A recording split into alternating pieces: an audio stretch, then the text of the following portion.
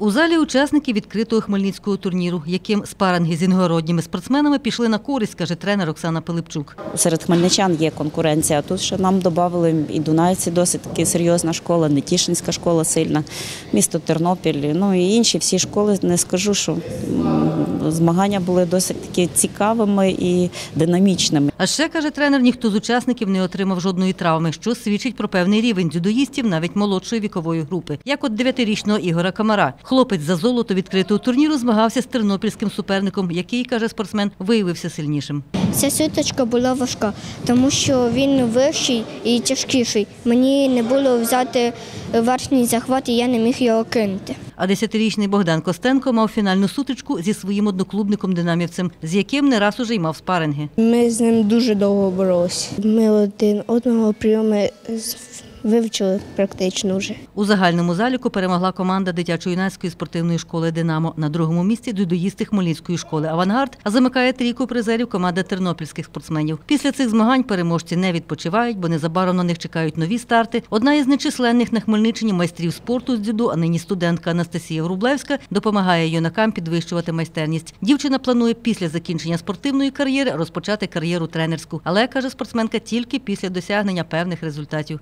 Як мінімум, хочеться стати, зайняти якесь призове місце ну, на чемпіонаті світу, там, на чемпіонатах Європи. Світлана Поробок, Олександр Горішевський. Новини Поділля Центр.